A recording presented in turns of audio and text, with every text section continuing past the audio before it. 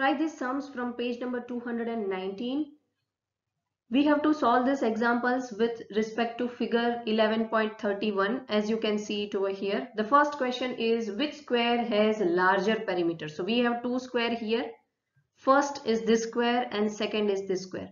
Obviously the second square.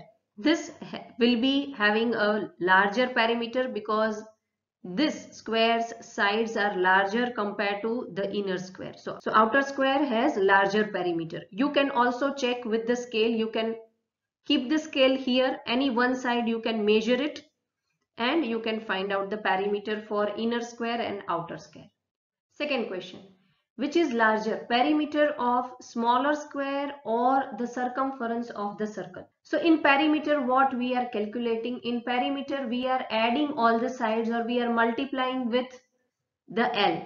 We are multiplying 4 with the side.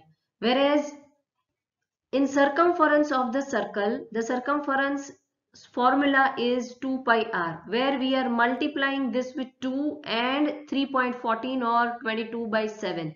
So circumference will be obviously bigger than the perimeter.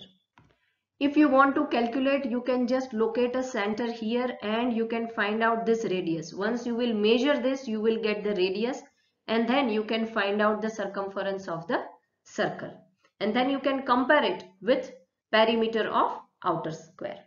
So thank you for watching and learning with us and don't forget to subscribe Learn Yourself.